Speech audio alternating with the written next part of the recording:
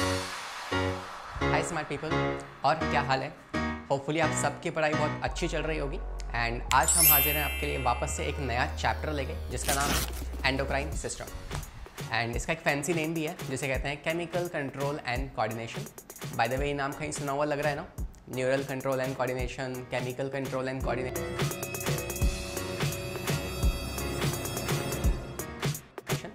yes ये दोनों ही chapters जो हैं ये आपस में एक दूसरे से काफ़ी लिंक हैं राइट तो आज हम इस चैप्टर को स्टार्ट करने वाले हैं। मगर आगे बढ़ने से पहले आई वॉन्ट कि हम ना पहले इस चैप्टर की इंपॉर्टेंस समझ लें। फिर हम इस चैप्टर के बारे में और बातें करने वाले हैं, ठीक है?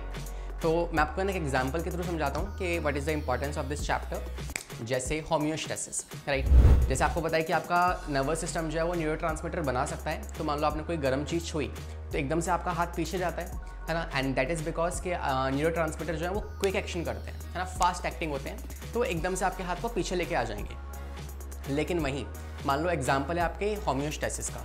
आपको पता है कि होम्योस्टेसिस में क्या होता है कि आपकी सेल्स जो हैं वो लाइक like, वाटर का इम्बैलेंस आयन का इम्बैलेंस को चेक करती रहती है है ना? तो इस केस में आपके ब्रेन से हर पल न्यूरो नहीं निकल सकते। तो इन सच कंडीशन आपको चाहिए एक ऐसा सिस्टम जो कि चौबीसों घंटे क्या करे आपके सेल से इम्पल्सिस आपके ब्रेन तक लेके जाए और उसे बताए कि हाँ भाई, सारी सेल्स जो हैं वो प्रॉपरली वाटर का और आयन्स के बैलेंस को मेंटेन कर पा रही है। तो इस सिचुएशन में वापस से क्या चाहिए होंगे आपको? हॉर्मोन्स चाहिए होंगे, ताकि सेल से इम्पल्सिस ब्रेन तक कॉन्टीन्यूसली पहुँचता रहे। तो ये तो हो गया इसका एक एक प्राइमरी फ़ंक्शन कि भाई जो आपके हॉर्मोन्स हैं वो कैसे काम करते हैं? वो hormones slow and gradual process में इस्तेमाल होंगे तो बहुत सारे ऐसे प्रोसेस हैं हमारे पास। दूसरा for constant signalling to different organs of the body तो आपकी बॉडी के पास अगर सिग्नल्स पहुँचाने हैं लगातार, क्योंकि न्यूरो बहुत जल्दी काम करेंगे, वो शॉर्ट टाइम के लिए करते हैं, लेकिन लगातार कोई प्रोसेस है तो उसके लिए आपको हॉर्मोन्स चाहिए होंगे राइट तो फुल यू अंडरस्टैंड की इंपॉर्टेंस क्या है इस चैप्टर की। Now this is the primary importance secondary एक और फ़ंक्शन हो सकता है, जैसे कि अगर मान लो तुम्हें आशिकी लड़ानी है, ठीक है? या तुम्हें सोशल मीडिया पे अपनी फ़ोटोज़ खींच के डालनी है, और you want to be so cool है ना? अब्बा नहीं मानेंगे।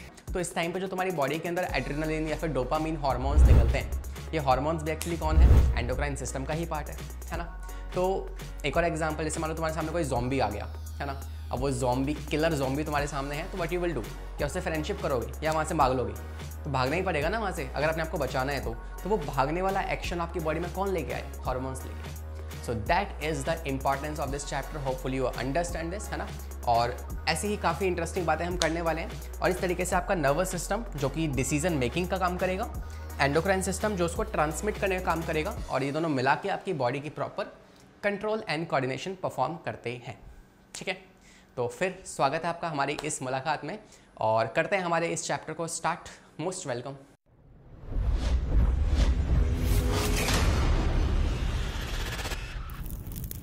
तो वही फिर आइए देखते हैं क्या होते हैं एंडोक्राइन सिस्टम तो अगर मैं इस चैप्टर के सीक्वेंस की बात करूँ तो यार सबसे पहले हमें जानना है कि जो आपके एंडोक्राइन ग्लैंड्स हैं वो होते क्या हैं राइट पहले उसके बारे में पढ़ेंगे।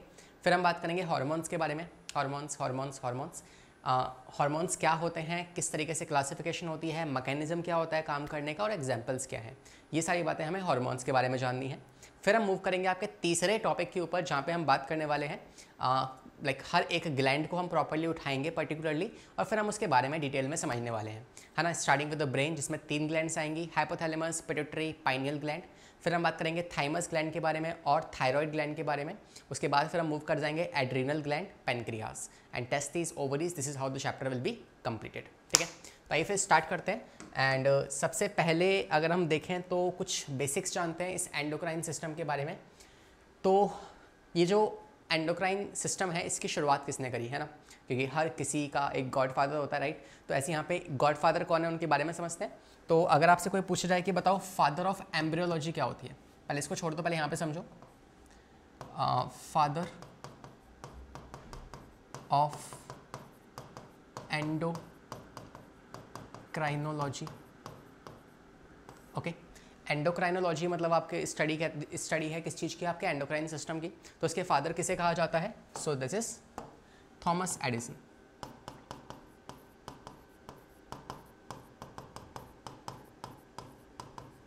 okay Thomas Edison is the father of endocrinology second सवाल आपसे ये पूछ सकते हैं कि बताओ फ़र्स्ट हार्मोन डिस्कवर कौन सा हुआ था? फ़र्स्ट हार्मोन डिस्कवर्ड ओके तो आप कहेंगे, पहला हार्मोन जो डिस्कवर हुआ था that was secretin okay secretin आपने पढ़ा होगा डाइजेशन एंड एब्जॉर्प्शन वाले चैप्टर के अंदर। और कौन से वो साइंटिस्ट थे जिन्होंने सिक्रेटिन हार्मोन को डिस्कवर किया था? It was Bayliss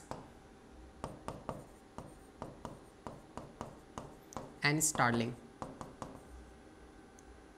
okay Bayliss and Starling जो थे, ये दो साइंटिस्ट थे, जिन्होंने इस हार्मोन को ढूंढा था। इसके अलावा आपको एक और बात ध्यान रखनी है कि स्टार्लिंग है, ये वही साइंटिस्ट है जिन्होंने इस हार्मोन शब्द को दिया है। तो इफ़ समबडी आस्क यू बताओ who gave the term hormone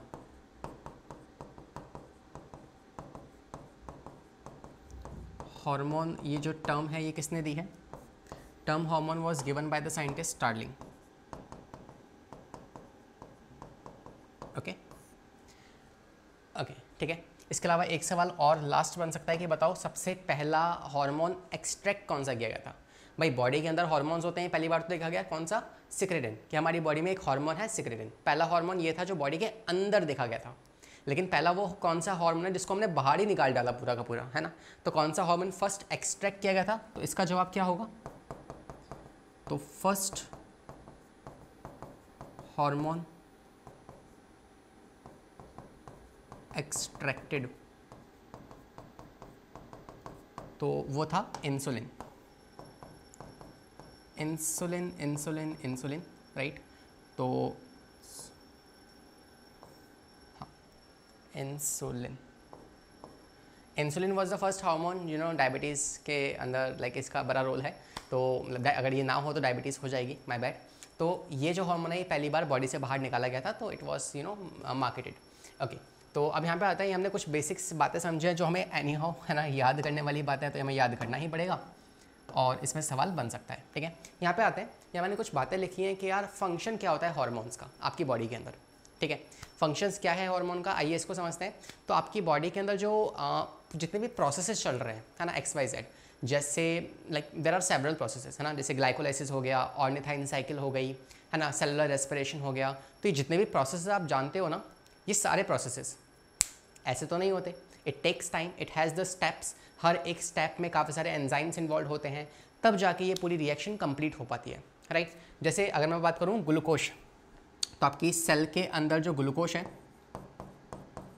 उसको ब्रेक डाउन करने के लिए क्या सिंपल एक स्टेप में वो ब्रेक डाउन हो जाता है? नहीं it takes multiple steps right तो ग्लूकोज जो है वो अगर आप इसको तोड़ना चाहते हो water plus C plus energy में तो ये बस ऐसे तो नहीं होने वाला, है ना? It will be having series of steps काफ़ी सारे एंजाइम्स इन्वॉल्व होंगे। अब उस सारे के सारे स्टेप्स में जो एंजाइम इन्वॉल्व हैं, उनका रेगुलेशन करने के लिए क्या चाहिए हमें? हार्मोन्स की ज़रूरत होगी। तो पहला सबसे इंपॉर्टेंट फ़ंक्शन समझे। चाहे आप बात करो ऑर्निथाइन साइकिल के बारे में, चाहे आप बात करो ग्लाइकोलाइसिस के बारे में, ये जो इसमें 10-15 जो स्टेप्स आते हैं, उन हर एक स्टेप्स में जो एंजाइम्स इन्वॉल्व हैं, कब कौन सा एंजाइम काम करने वाला है, उसे कंट्रोल कौन करेगा? ये हार्मोन्स कंट्रोल करने वाले हैं। तो हार्मोन्स की बहुत बेसिक सी और बहुत मज़ेदार डेफिनेशन मैंने लिखी है आपके लिए। कह रहा है hormones generally control production of enzymes by altering the DNA transcription we all know DNA से आपका बनता है आरएनए आरएनए से बनते हैं आपके प्रोटीन्स है ना? द प्रोसेस इज़ ट्रांसलेशन और ट्रांसक्रिप्शन तो ये हॉर्मोन्स करते क्या हैं? ये आपकी बॉडी में जो डीएनए है, उसमें से ट्रांसक्रिप्शन करवा के, है ना, वो प्रोटीन्स बनवाएँगे मतलब एंजाइम्स बनवाएँगे और ये उन एंजाइम्स का प्रोडक्शन भी करवा सकते हैं और उनका इनिबिशन भी करवा सकते हैं। तो इस सारे के सारे जो फ़ंक्शंस हैं, ये हार्मोन्स बेहतरीन तरीके से जानते हैं, ठीक है? तो इनको इनका काम करने दो, हम अपना काम करते हैं और समझते हैं इनके बारे में कुछ और बातें। बट होपफुली आप समझ चुके होंगे कि यार सेलुलर पाथवे में हॉर्मोन्स का सबसे इंपॉर्टेंट रोल होता है ओके okay? आगे बढ़ते हैं and next let us talk about next क्या होता है एंडोक्राइन ग्लैंड उसके बारे में समझते हैं। तो दो तरह की ग्लैंड्स हैं, ये आप बचपन से पढ़ते आ रहे हो, बचपन मतलब से you know eighth ninth tenth class से आप पढ़ते आ रहे हो। दो तरह की ग्लैंड्स होते हैं, एक होते हैं आपके एंडोक्राइन एक होते हैं एक्जोक्राइन एंडोक्राइन ग्लैंड्स वो होते हैं जो अपना सिक्रेशन डायरेक्टली ब्लड वेसल्स के अंदर डाल देंगे, है ना? मतलब blood is going to act as a vehicle for them है ना? व्हीकल फॉर देम और इसके अलावा जो आपके एक्जोक्राइन ग्लैंड्स होते हैं, वो अपना सिक्रेशन जो है, वो डक्ट के थ्रू सिक्रीट करते हैं। ठीक है? जैसे आपने पढ़ा है सलाइवरी ग्लैंड वो क्या है? एक ऐसी ग्लैंड है जो कि अपना सिक्रेशन जो है वो डक्ट के थ्रू एक्सक्रीट आउट करेगी. So that's an exocrine gland लेकिन हमारी बॉडी के अंदर जो हम पढ़ने वाले हैं, हमारे इस पर्टिकुलर चैप्टर में whether you talk about the hypothalamus pituitary और पाइनियल ग्लैंड थाइमस थायराइड ये सारे ग्लैंड्स क्या हैं? ये एंडोक्राइन नेचर के होते हैं. मतलब कि ये अपना हार्मोन अपने सिक्रेशंस कहाँ पे पोर करेंगे? ये अपने सिक्रेशंस को आपके ब्लड के अंदर पोर कर देंगे. ठीक है? चलिए तो होपफुली आप समझ चुके हैं. तो for example if this is a gland I am having ये मेरे पास एक ग्लैंड है। और मैं कह रहा हूँ कि एक एंडोक्राइन ग्लैंड है राइट तो एंडोक्राइन ग्लैंड है, इसका मतलब ये बात पहले गैस कर लीजिएगा कि यार ये ना डक्टलेस ग्लैंड होने वाला है। इसके पास कोई डक्ट नहीं होगी बिकॉज़ ये एंडोक्राइन नेचर का है। तो क्या करेगा, ये अपने हॉर्मोन्स को डायरेक्टली छिड़केगा किसके अंदर? ब्लड वेसल्स के अंदर। तो अपने हॉर्मोन्स को डायरेक्टली ब्लड वेसल्स के अंदर डाल देगा। And this is how the you know these hormones are going to travel sir blood ही क्यों? और कुछ क्यों नहीं? बिकॉज़ ब्लड यू नो आपको पता है आपकी बॉडी में काफ़ी डिस्टेंस तक ट्रैवल करता है। बॉडी के हर पार्ट तक ब्लड जाता है। तो ये हॉर्मोन्स भी उसी के थ्रू आपके बॉडी के डिफरेंट डिफरेंट पार्ट्स तक ट्रैवल हो जाएँगे। और इस तरीके से फिर ये आपके टारगेट ऑर्गन तक पहुँच जाएगा। So this is how the endocrine glands basically works बाकी एक्जोक्राइन जो उनके पास डक्ट्स होती हैं तो वो डक्ट के थ्रू अपना सिक्रेशन करने वाले हैं। ये बेसिक सा मतलब है जो आई होप आप जानते होंगे। ठीक है? आगे आते हैं। And this is what you can see सारे के सारे ग्लैंड सीक्वेंस में मैंने लगा दिए हैं। तो ये सारे ग्लैंड्स हमें पढ़ने हैं। ठीक है, मैं नंबरिंग कर देता हूँ उनको। तो पहले हम पढ़ेंगे, सबसे पहले हाइपोथैलेम पहले हम पिट्यूटरी पढ़ेंगे। मतलब hypothalamus second pituitary third pineal gland ठीक है? Pineal gland is a small gland जो आपको यहाँ दिख नहीं रहा होगा, लेकिन आई शो यू ठीक है? शायद ये हम जूम इन भी कर सकते हैं। यहाँ पे जो ग्लैंड है this is the gland call as pineal gland okay अच्छा वापस आते हैं। एंड uh, तीन ग्लैंड्स तो ये हो गए जो आपके ब्रेन के हैं। इसके अलावा नेक्स्ट हम पढ़ेंगे आपका थायराइड ग्लैंड और थाइमस ग्लैंड तो fourth and fifth thymus gland जो है ये आपका पाया जाता है स्टर्नम के लेफ़्ट साइड में और हर्ट के आगे। तो if this is your heart और हार्ट के आगे की तरफ़ है ना? वेंट्रल साइड में क्या होगा? थाइमस ग्लैंड लगा होगा। थायराइड जो होगा ये आपके नेक्स्ट साइड में होगा। इसके अलावा पेनक्रियाज हो गया which is a mixocrine gland और एड्रिनल ग्लैंड हम पढ़ेंगे। इसके अलावा दो ग्लैंड्स और होंगे टेस्टिस और ovaries and this is how the chapter will be completed okay चलिए तो यहाँ पे ना मैं कुछ हार्मोन्स के बारे में कुछ करेक्टरिस्टिक्स लिख रहा हूँ कि हॉर्मोन्स क्या होते हैं, है ना? या फिर आपको पता है हर किसी के पास अपनी खुद की खूबसूरती होती है, अपनी खुद की यू नो कुछ खासियत यूनिकनेस होती है। तो हॉर्मोन्स की क्या यूनिकनेस है? Let's talk about that okay so let's talk about hormones hormones hormones ठीक है? देखो, पहली बात आपको ध्यान रखना है कि हॉर्मोन्स जो होते हैं वो बायोजेनिक नेचर के होते हैं। क्या मतलब है कि ये बायोजेनिक नेचर के हैं?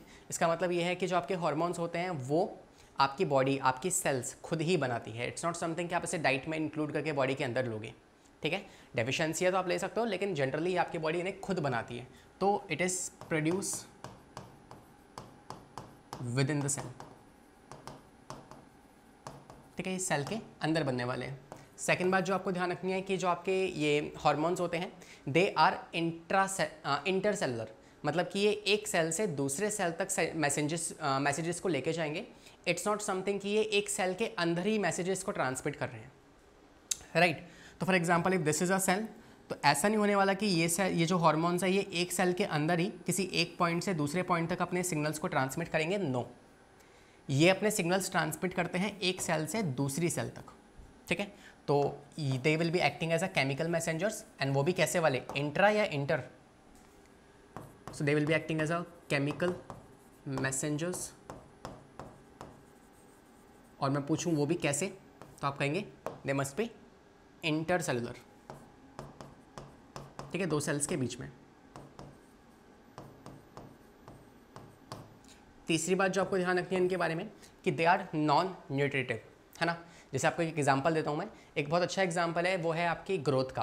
है ना? ग्रोथ करवाने के लिए क्या चाहिए हमें? हार्मोन चाहिए। ग्रोथ हार्मोन अब ना ग्रोथ वर्ड सुनते ही हमें ये लगता है कि यार खाना, है ना? ग्रोथ कैसे होगी? खाने से होगी। तो वो जो हार्मोन है, वो कोई न्यूट्रिशन प्रोवाइड नहीं कर रहा आपकी सेल को। वो क्या कर रहा है? वो हार्मोन जो है, वो आपकी सेल पे जाके काम कर रहा है और सेल को ये बात बता रहा है कि भाई तुम ज़्यादा से ज़्यादा न्यूट्रिशन को ग्रैप करो, क्योंकि तुम्हें ग्रो करना है राइट तो वो हार्मोन अपने आप में कोई न्यूट्रिएंट नहीं है, वो बस एक मैसेंजर है। तो वो सिग्नल लेके गया सेल के पास कि भाई तुम खाना या न्यूट्रिएंट्स बॉडी से एब्जॉर्ब करो, क्योंकि तुम्हें ग्रो कर रहा है। करेक्ट तो आप कहोगे कि तीसरा क्या होता है? हॉर्मोन्स जो होते हैं वो नॉन न्यूट्रेटिव होते हैं। मतलब हॉर्मोन्स अपने आप में न्यूट्रिशन प्रोवाइड नहीं करते। ठीक है? ये सिर्फ़ मैसेजेस को इम्पल्सिस को, इन चीज़ों को कैरी करने वाले हैं। तो कोई इनकी, इनके थ्रू ए प्रोवाइड नहीं की जाती। तो no a supplied by them okay चौथी बात पे आते हैं। नेक्स्ट पॉइंट आपको ध्यान रखना कि जो हार्मोन्स होते हैं ना, सारे के सारे हार्मोन्स जो होते हैं, इनका मॉलिकुलर वेट काफ़ी कम होता है। तो जितने भी हार्मोन्स आप अपनी बॉडी में देखेंगे, उन सबका मॉलिकुलर वेट कैसा होगा? कम होगा, ठीक है? तो आप कहेंगे low molecular weight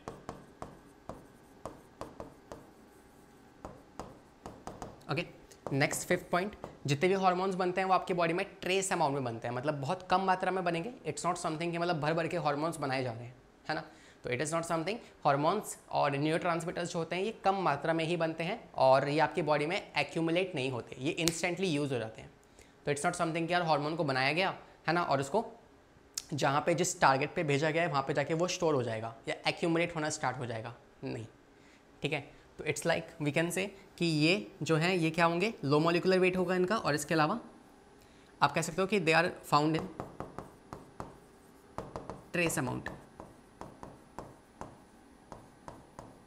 found कहो या फिर प्रोड्यूस कहो. Produce is more preferred word ठीक है? इसके अलावा सिक्स ऐसा मैंने आपको बताया कि ये रिएक्शंस में यूज़ हो जाते हैं, ये एक्यूमुलेट नहीं होते. So use up in reactions ठीक है?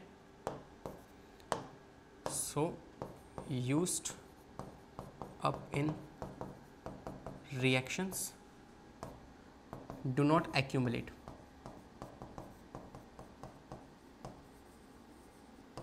ठीक है?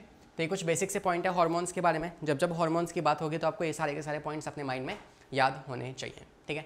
दो तीन सवाल आपके सामने मैंने यहाँ पे लिखे हैं कि बताओ मास्टर ग्लैंड कौन है और मास्टर कंट्रोल सेंटर कौन है? तो आई होपफुली है ना ये आप मुझे कमेंट करेंगे, क्या जवाब है इसका?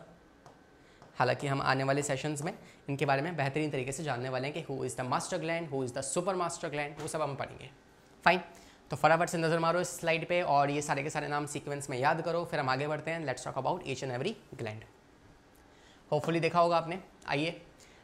आगे बढ़ने से पहले या पहली ग्लैंड स्टार्ट करने से पहले या बेसिक पढ़ने से पहले हम एक बार डिस्कस करते हैं कि न्यूरो और हॉर्मोन्स में क्या डिफरेंस है। अब तक आप ये समझ चुके हैं कि यार न्यूरो फास्ट काम करते हैं, फटाक से काम करते हैं और हॉर्मोन्स जो हैं वो स्लो काम करते हैं। Right right? इंट्रोडक्शन आपने देख लिया होगा। तो न्यूरो फास्ट काम करेंगे हॉर्मोन्स स्लो हैं ग्रेजुअल हैं, लेकिन कॉन्टीन्यूस हैं। ठीक है?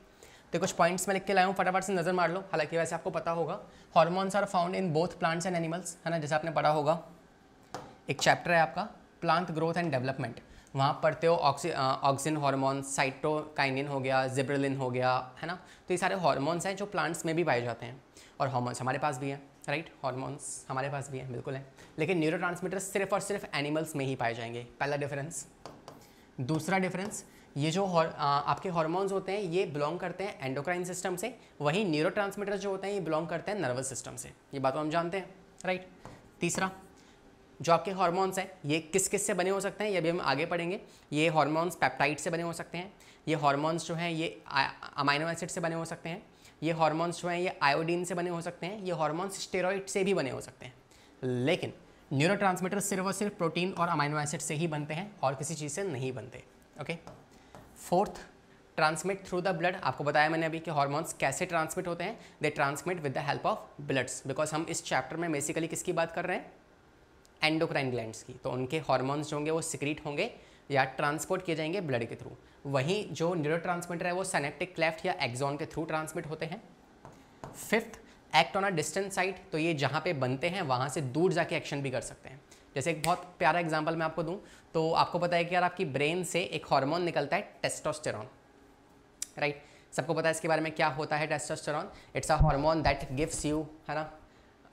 किक uh, जो आपको हिट्स देता है कि यार हाँ अब तो कुछ करना है। आपकी बॉडी के अंदर अग्रेसिवनेस लेके आएगा testosterone in the case of males right इसके अलावा वो आपकी यू नो मूछे लेके आएगा है ना? आपको मेस्कुलाइन बनाएगा आपकी ग्रोथ करवाएगा सेक्शुअल ग्रोथ करवाएगा प्यूबर्टी लेके आएगा। ये सारे काम किसके हैं? टेस्टोस्टेरॉन के।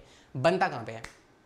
टेस्टिस में बनता है। लेकिन टेस्टिस को बताना पड़ेगा कि नहीं, बताना तो पड़ेगा ना कि भाई हार्मोन्स बनाओ टेस्टोस्टेरोन बनाओ। तो उसके सिग्नल आते हैं कहाँ से? ब्रेन से। तो ब्रेन से हार्मोन निकला। मान लो एलएच निकला, ठीक है? लुटिनाइजिंग हार्मोन तो वो हार्मोन ब्रेन से निकलेगा और टेस्टिस तक ट्रैवल करेगा, ठीक है? तो यू नो कि कितना लंबा डिस्टेंस ये ट्रैवल कर रहे हैं। तो हार्मोन्स जो हैं ये लॉन्ग डिस्टेंस ट्रैवल कर सकते हैं, लेकिन आपको पता है कि जो आपके न्यूरो ट्रांसमीटर हैं, इनके ये जो ट्रैवलिंग होती है, इनके रिसेप्टर्स पास पास में होते हैं। और इनके रिसेप्टर्स बहुत दूर हो सकते हैं राइट तो this is the another difference six difference जो हो सकता है वो ये है टेक फ्यू मिनट्स और फ्यू डे टू रिस्पॉन्ड तो ये स्लो होते हैं ग्रेजुअल हैं कॉन्टीन्यूस हैं, लेकिन ये क्विक रिस्पॉन्ड करते हैं कि within the seconds within microseconds इनका रिएक्शन आपको देखने को मिल जाएगा। और लास्ट डिफरेंस जो है वो ये है कि diverse functions in controlling the growth development and reproduction और इनका सिर्फ़ एक ही फ़ंक्शन है कि ये सिग्नल्स को ट्रांसमिट करेंगे। डन है? तो समझ गए इन दोनों में डिफरेंस क्या होता है? डन है आगे देखते हैं। नेक्स्ट अगर हम बात करें, वो है आपके पास, अब हम स्टार्ट कर रहे हैं क्लासिफिकेशन ऑफ़ हॉर्मोन्स तो हॉर्मोन्स को आप किस तरीके से क्लासीफाई कर सकते हो या ग्लैंड्स को आप कैसे क्लासीफाई कर सकते हो आप उसकी बात करते हैं, ठीक है? तो पहला क्लासिफिकेशन हम यहाँ पे स्टार्ट कर रहे हैं that first classification is on the basis of germ layer तो ये है क्लासिफिकेशन ऑफ़ ग्लैंड्स या हॉर्मोन्स ठीक है? तो कैसे क्लासीफाई कर रहे हैं? पहला जो बेसिस हमारे पास वो है आपका ऑरिजिन ऑफ़ ग्लैंड कि जो ग्लैंड हम पढ़ने वाले हैं, जो सीक्वेंस में हमने ग्लैंड्स देखी है ना, वो ग्लैंड्स कहाँ से ऑरिजिन हो रही है? एक्टोडम की कौन सी लेयर से वो बन रही है? Is it driving from ectoderm mesoderm और एंडोडम तो let's talk about this okay तो तीन डिफरेंट क्लासेस में यहाँ बना दे रहा हूँ। कैटेगरीज में डिवाइड कर रहा हूँ। पहली, या तो हो सकता है कि वो एक्टोडम से बने। है ना, कुछ ऐसे ग्लैंड्स हैं जो एक्टोडम से ड्राइव हुए हैं, कुछ ऐसे हैं जो मीजोडम से ड्राइव हुए हैं, और कुछ ऐसे हैं जो एंडोडर्म से ड्राइव हुए हैं। तो ये इनका सीक्वेंस फटाफट से पढ़ते हैं कौन कौन सी ग्लैंड्स हैं। तो एक्टोडम में वो वाली ग्लैंड्स आएँगी, जो कि मतलब आपको पता है कि आपका नर्वस सिस्टम जो है वो एक्टोडम से ड्राइव हुआ है राइट एक्सेप्ट एक, दो, तीन पार्ट लेकिन पूरा का पूरा नर्वस सिस्टम किससे ड्राइव हुआ है आपके? एक्टोडम से। तो यहाँ पे आपके वो वाले ग्लैंड्स आ जाएँगे जो आपके ब्रेन में इन्वॉल्व हैं। जैसे कि पाइनियल ग्लैंड जैसे कि पिट्यूटरी ग्लैंड ठीक है हाइपोथैलेमस हो गया। ये सारे ग्लैंड्स कौन से हैं? ये आपके एप्टोडम के ओरिजिन से होते हैं। मीजोडम इसमें आपके आ जाएँगे रिप्रोडक्टिव ऑर्गन्स तो रिप्रोडक्टिव ऑर्गन में जो आपके ग्लैंड्स पाए जाते हैं, वो सब क्या हैं? वो यहाँ से ओरिजिन है ऑरिजिनेट हुए हैं, ठीक है? लेकिन हम बात कर रहे हैं किसकी? एक्जो एंडोक्राइन की। तो इसमें आप समाइनल वेसिकल या प्रोस्टेट ग्लैंड इनको इंक्लूड मत करना बिकॉज़ उनके पास अपनी डक्ट होती है। They are exocrine in nature हम यहाँ पे एंडोक्राइन की बात कर रहे हैं। तो यहाँ पे कौन आएँगे? टेस्टिस ओवरी पेनक्रियास ये सारे ग्लैंड जो हैं, कैसे हैं? ये आपके मेजोडर्मल इन ऑरिजिन है। इनफैक्ट ये जो पेनक्रियास है, ये तो मिक्सोक्राइन होगा, इसको यहाँ मत लिखो। ठीक है? तो ये दो कैसे ग्लैंड हैं आपके? मीजोडर्मल इन ऑरिजिन होते हैं, और इसके अलावा जो भी बच गए, वो सारे कैसे होंगे आपके? एंडोडर्मल ऑरिजन के होंगे। फिर चाहे आप बात करो थायरॉयड ग्लैंड के बारे में। फिर चाहे आप बात करो थाइमस ग्लैंड के बारे में। फिर चाहे आप बात करो पेनक्रियास ठीक है? इसके अलावा जो आपका बच जाएगा, है ना? कौन सा बच गया? मोस्टली हो गए आपके सारे के सारे ना? तो ये वाले ग्लैंड जो हैं, वो आपके यहाँ से ओरिजिन में आ जाएँगे। डन लेकिन सर, अभी भी एक ग्लैंड बच गया। कौन सा वाला? Adrenal gland now adrenal gland मैंने यहाँ पे अलग से जगह छोड़ी है because I want to write something special about them and that is what that is कि जो आपका एड्रीनल ग्लैंड है ना एड्रीनल मेडुला वाला जो पार्ट होता है because this is your adrenal gland adrenal gland जो है, ये आपको पता है कि आपकी किडनी के ऊपर होता है तो इस, ये ना दो पार्ट्स में डिवाइडेड है। एक अंदर वाला पार्ट जिसे आप कहते हो medullary region it is adrenal medulla and this is cortex part तो एक्चुअली में कॉटेक्स पार्ट जो है वो मिजोरम से सॉरी मेडुला वाला पार्ट जो है ये आपके एक्टोडम से ड्राइव होता है और कॉटेक्स वाला पार्ट मिजोडम से ड्राइव होता है। तो यहाँ मैं लिखूँगा एड्रीनल मेडुला वाला जो पार्ट होगा इस ग्लैंड का, वो इससे ड्राइव होगा और जो एड्रीनल कॉटेक्स वाला जो पार्ट होगा वो मीजोरम से ड्राइव होने वाला है। ये बातें भी आपको यहाँ पे ध्यान रखनी है। ठीक है? तो फटाफट से नज़र मारो, कौन सा कौन से ग्लैंड जो है वो कौन सी जर्म लेयर से ड्राइव है? ये बात आपको ध्यान रखनी है, ठीक है? अच्छा एक नोट पॉइंट लिखते हुए चलते हैं।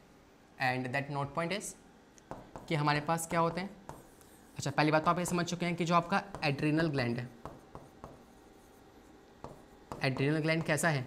एक्टोडम मीजोडम या फिर एंडोडम तो आप कहेंगे कि it is ecto mesodermal in origin because वो दोनों ही जगह से ड्राइव हो रहा है राइट तो इट इज़ एक्टो मीजो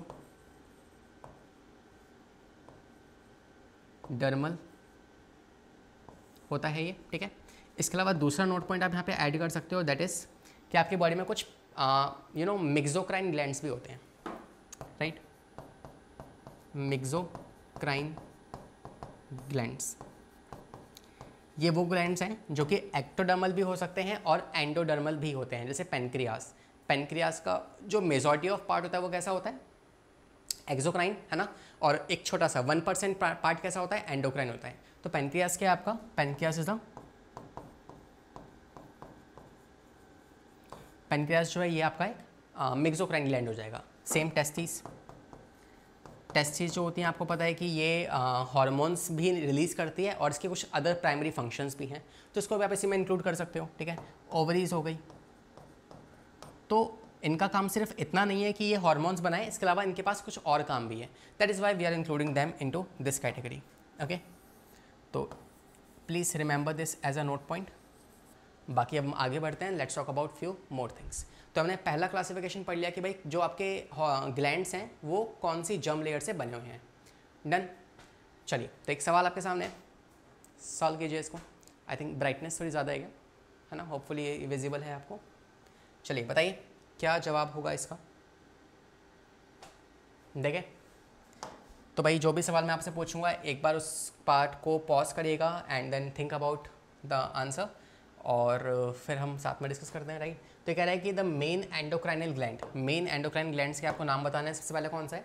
आपको पता है कि सैरी बेलम के पास कौन सा होता है? पाइनियल ग्लैंड और आँखों के पास कौन सा होगा? ये होगा पिट्यूटरी ग्लैंड ठीक है? तो ये हो गया पिट्यूटरी और ये हो गया पाइनियल ग्लैंड ठीक है? इसके अलावा नेक्स्ट आपसे ये पूछ है तो आपकी गर्दन के पास कौन सा होता है? You are having the thyroid gland ठीक है? इसके अलावा थायराइड के अंदर ही पाए जाते हैं पैराथायरॉयड ये पढ़ाऊँगा मैं आपको आपको आगे। पैराथायरॉयड तो यहाँ पे आप ना पैराथायरॉयड को भी इंक्लूड कर सकते हो। पैरा पैराथायरॉयड ठीक है? अच्छा आगे आ जाओ। नेक्स्ट ये कौन सा है? तो आपको पता है किडनी के ऊपर कौन सा होता है? एड्रिनल यहाँ पे ये हो जाएगा। ठीक है, ये कौन सा ये थाइमस हो गया। हार्ट जो होता है, ये भी एक तरह का ग्लैंड है बिकॉज़ ये भी कुछ हार्मोन सिक्रिएट करता है, मगर मेजर काम आपको पता है क्या होता है हार्ट का राइट इसके अलावा स्टमक भी है। इनके पास ना डिफ्यूज एंडोक्राइन सिस्टम होता है, जो आपको मैंने लास्ट चैप्टर में पढ़ाया हुआ है डाइजेशन एंड एब्जॉर्प्शन में राइट तो इनके पास क्या होते हैं, ऐसे कुछ सेल्स होते हैं जो कि हार्मोन सिक्रिएट करते रहते हैं और ये जो सेल्स हैं पूरी बॉडी में फैले हुए हैं राइट इसे कहते हैं डिफ्यूज एंडोक्राइन सिस्टम इसके अलावा किडनी भी अपने कुछ हार्मोन्स निकालती है। ठीक है? किडनी के पास भी क्या होता है? अपने कुछ हार्मोन्स निकाले जाते हैं, जैसे रेनिन वगैरह हो गया। हार्ट जो है वो आपका ए है ना? वो हार्मोन निकालता है स्टमक जो है वो गैस्ट्रिन निकाल सकता है राइट right? इसके अलावा ये जो नीचे आप देख पा रहे हैं this is what this is liver and this is pancreas pancreas भी हमें पढ़ना है हमारे सिलेबस में। ठीक है, इसके अलावा ये हो जाएँगी ovary and this is testis if that's a female sorry male और ये आपका हो जाएगा लेबर आई थिंक तो this is what we have solve here hopefully आपने भी सॉल्व किया होगा, है ना? आगे आते हैं। And let's talk about the classification of hormones हमने एक क्लासिफिकेशन पढ़ ली कि आप हार्मोन्स को डिवाइड कर सकते हो ऑन द बेसिस ऑफ़ कि वो उनका ओरिजिन कैसे हुआ है। अब हम क्या करते हैं? अब हम डिवाइड करते हैं आपके हार्मोन्स का ऑन द बेसिस कि भाई वो जो हार्मोन्स हैं ये हार्मोन्स बने किस चीज़ से हैं, है ना? तो इनका कॉन्स्टिट्यूएंट क्या है नेचर क्या है? तो ये प्रोटीन से बने हैं अमाइनो एसिड से बने हैं है ना आयोडीन से बने हैं या फिर ये बने हैं स्टेरॉइड से। लेट्स टॉक अबाउट दिस तो चार चीज़ें हैं, ऐसे चार कंपाउंड है जिससे आप मतलब चार इंग्रेडिएंट्स हैं जिससे आप हॉर्मोन्स बना सकते हो। वो चार इंग्रेडिएंट्स क्या हैं? या तो कोई हार्मोन जो है वो अमाइनो एसिड से बना हो सकता है। एग्ज़ाम्पल से भी हम देखेंगे। ठीक है? या फिर कोई हार्मोन जो है वो प्रोटीन से बना हो सकता है, या पॉलीपेप्टाइड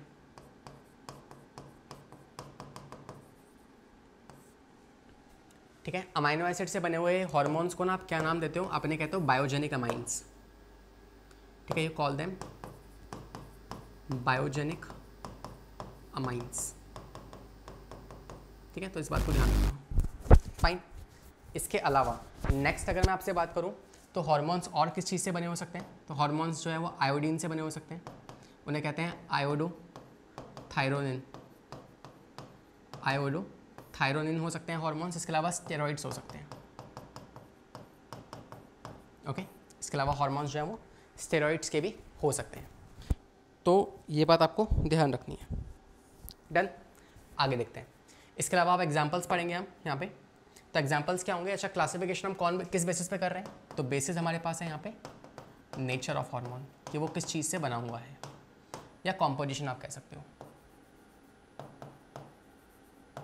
कॉम्पोजिशन आइए, करते हैं डिस्कस तो आपके जो बायोजेनिक अमाइंस हैं, इसमें कौन कौन से हॉर्मोन्स आ जाएँगे? तो एग्जाम्पल्स आप यहाँ पर मैंशन कर लीजिएगा. जैसे पहला एग्ज़ाम्पल है आपका एपीनेफ्रिन या एड्रेनलिन भी कह सकते हैं इसको, है ना? तो पहला एग्ज़ाम्पल है एड्रेनलिन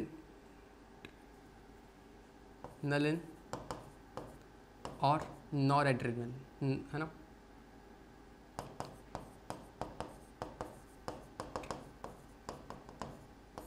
तो ये जो आपके हॉर्मोन्स हैं कैसे हैं? आपके बायोजेनिक अमाइंस हैं मतलब ये अमाइनो एसिड के डेरिवेटिव्स होते हैं।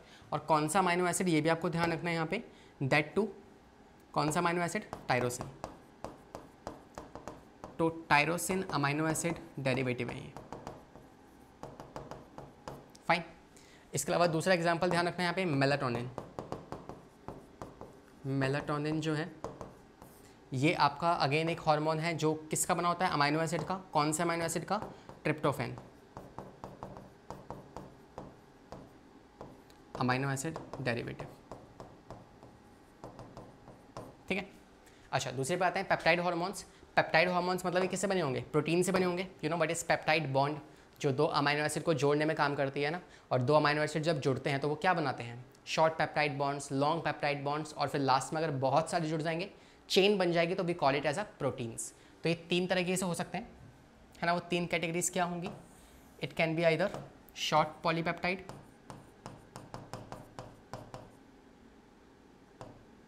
short polypeptide हो सकते हैं। इसके अलावा ये लॉन्ग पॉलीपेप्टाइड हो सकते हैं।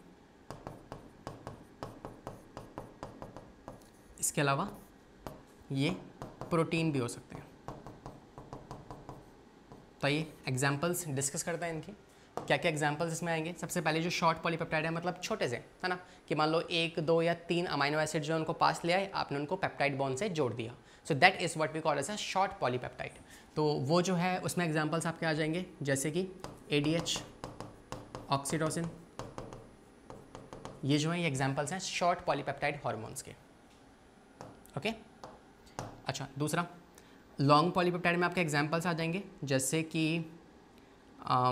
इंसुलिन इंसुलिन एक लॉन्ग पॉलीपेप्टाइड एग्जांपल है हार्मोन का एग्जांपल है। इसके अलावा ग्लूकागोन ठीक है रिलैक्सिन ये हार्मोन्स कहाँ पे आ जाएँगे? इसके अंदर आ जाएँगे और प्रोटीन्स वाले में इंपॉर्टेंट है, आपको ध्यान रखना है। इसमें आपके एग्जांपल्स आ जाएँगे T S H F S H L H ये हार्मोन्स जो हैं कैसे हैं? ये प्रोटीन से बने हुए हो, बने हुए हैं। इसके अलावा कुछ और एग्जांपल्स भी हैं, जैसे H C G human chorionic gonadotropin या पढ़ोगे रिप्रोडक्टिव वाले सिस्टम के अंदर, ये वाले हार्मोन्स होते हैं जो प्लेसेंटा रिलीज़ करता है, ठीक है? इसके अलावा H C M human chorionic mammo या H C S that is human chorionic somato mammotropin ठीक है? स्पेलिंग ध्यान से देखना. सोमैटो मेमोट्रोपिन ओके तो सोमैटो मेमोट्रोपिन जो है, ये भी आपका प्लेसेंटाई रिलीज़ करेगा। इसके अलावा आपके हो जाएँगे? Thyrotropin gonadotropin that is G N R H ये हॉर्मोन्स क्या हैं? ये सारे हार्मोन्स जो हैं, ये आपके प्रोटीन डेरिवेटिव होते हैं ओके नेक्स्ट बात करते हैं आयोडीन से कौन सा हार्मोन बना हुआ होगा? तो बहुत सिंपल एग्जांपल है यहाँ पे। दैट इज़ यहाँ पे आपका एग्जांपल्स आ जाएगा टी थ्री या T four which we call as a thyroid hormones और क्या आप गेस कर सकते हैं कि थायरॉयड हार्मोन कौन सी ग्लैंड बनाएगी? सिंपल थायराइड ग्लैंड ठीक है? तो थायराइड ग्लैंड जो हार्मोन बनाते हैं वो कैसे होते हैं? आयोडो थायरोनिन होते हैं मतलब ये आयोडीन के डेरिवेटिव्स हैं। तो इनमें 65 परसेंट जो है आपको आयोडीन मिलेगा। और ये भी अमाइनो एसिड से ही बने हो सकते हैं। तो आप इस कैटेगरी को ना इसमें भी इंक्लूड कर सकते हो। तो ये भी अमाइनो एसिड से ही ड्राइव्ड है। बस इसमें 60 परसेंट क्या है? 65 परसेंट इसमें आयोडीन मिल जाएगा आपको, ठीक है? सो ये भी कैसे अमाइनो एसिड से बने हैं? कौन से amino acid same tyrosine amino acid derivatives है। टायरोसिन अमाइनो एसिड डेरिवेटिव ठीक है? और लास्ट आते हैं आपके स्टेरॉइड स्टेरॉइड्स में एग्जांपल्स क्या आ जाएँगे? तो यहाँ पे आपके एग्जांपल्स आ जाएँगे, जैसे कि प्रोजेस्ट्रॉन ईस्ट्रोजन ठीक है? प्रोजेस्ट्रॉन ईस्ट्रोजन हो गया, और आप इसमें इंक्लूड कर सकते हो प्रोजेस्ट्रॉन हो गया ईस्ट्रोजन हो गया तो जीएनआरएच आप इसमें भी डाल, या जीएनआरएच तो हमने डाल दिया यहाँ पे, इसे हटाओ। तो ये जो हॉर्मोन्स है आपके प्रोजेस्ट्रॉन ईस्ट्रोजन ये सारे किस्में आ जाएँगे? They will be classified in the steroids okay इसको आप स्टेरॉइड में क्लासिफिकेशन कर सकते हो। अच्छा तो अब यहाँ पे क्या क्या सवाल बन सकते हैं? पहला सवाल ये बन सकता है कि बताओ टायरोसिन डेरिवेटिव हार्मोन्स कौन कौन से हैं? दो ये पढ़ लिए एड्रेनालिन और नॉर एड्रेनालिन और हमने कौन सा पढ़ लिया? हमने पढ़ लिया थायराइड वाला, ठीक है? टी थ्री टी फोर ये हो गया टायरोसिन डेरिवेटिव दूसरा पूछ सकता है, बताओ स्टेरॉइड्स जो होते हैं या स्टेरॉइड्स वाले जितने भी हॉर्मोन्स हैं, ये हॉर्मोन्स किस चीज़ से बने होते हैं? तो आपको स्टेरॉइड से बने हैं, लेकिन स्टेरॉइड किससे बना हुआ है? तो याद रखना कि स्टेरॉइड का प्रिकर्सर कौन होता है? तो स्टेरॉइड्स का प्रिकर्सर होता है cholesterol cholesterol is the precursor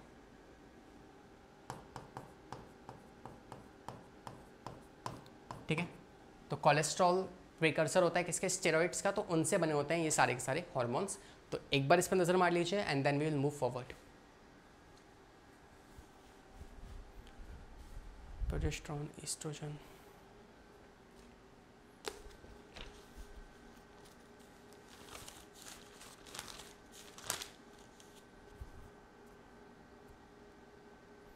testosterone, estradiol.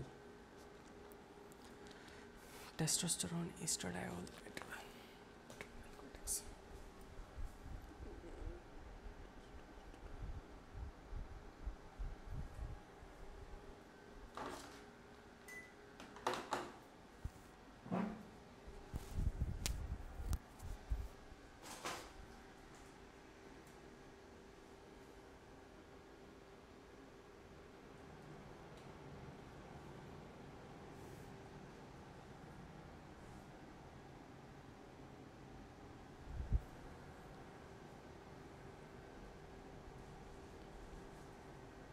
Done है भाई, हो गया।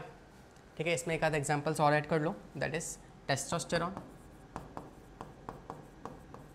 estradiol estradiol जो है प्लेसेंटा बनाता है। और अगर ये ना बने ना तो इसकी वजह से प्रेगनेंसी जो है वो अबॉर्शन में भी कन्वर्ट हो सकती है। तो इट्स वेरी वेरी इंपॉर्टेंट इसके अलावा एड्रीनल कॉर्टेक्स के जितने भी हॉर्मोन्स हैं ना फिर चाहे आप बात करो ACTH हो गया ग्लूकोकॉर्टिकॉइड मिनरेलो कॉर्टिकॉइड ये सारे हॉर्मोन्स जो हम पढ़ेंगे अभी आगे, वो सारे हॉर्मोन्स भी यही बनाएगा स्टेरॉइड्स ठीक है? So this is what the flow chart in front of you इस चार्ट को प्रॉपरली ठीक से ऑब्जॉर्व कीजिए, है ना? कि अमाइनो एसिड से कौन से बने हैं पेप्टाइड से कौन से बने हैं आयोडीन से कौन से और स्टेरॉइड से कौन से। That's about the second classification जो हम हॉर्मोन्स को क्लासीफाई कर सकते हैं। तो होपफुली देख लिया होगा आपने, अब आगे आते हैं। एंड नेक्स्ट हम एक तरीके से और क्लासिफिकेशन कर सकते हैं हॉर्मोन्स की। वो ये है कि हॉर्मोन्स भाई लिपिड डेरिवेटिव हैं, या मतलब एक तरीके से आप ऐसा कहोगे कि वो वाटर सॉल्यूबल हैं, या लिपिड सॉल्यूबल हैं। ठीक है? तो हमें दो तरह मतलब जितने भी हॉर्मोन्स हमें मिलते हैं ना, उनके अंदर दो नेचर हैं। या तो वो वाटर सॉल्यूबल होंगे, या वो लिपिड सॉल्यूबल होंगे। तो लेट्स टॉक अबाउट दिस तो तीसरी क्लासिफिकेशन जो हम पढ़ने जा रहे हैं, उसका बेसिस आप क्या रखेंगे? तो आप कहेंगे इसका बेसिस है कि भाई सॉल्युबिलिटी है कि नहीं है उनकी? ठीक है? तो whether they are lipid soluble और water soluble so again two categories it can be water soluble अच्छा एक सजेशन दूँ आपके लिए? सजेशन ये है कि इस चार्ट को ना एज इट इज़ याद रख लो। आने वाले दो तीन स्लाइड्स में आपको बहुत हेल्प मिल जाएगी।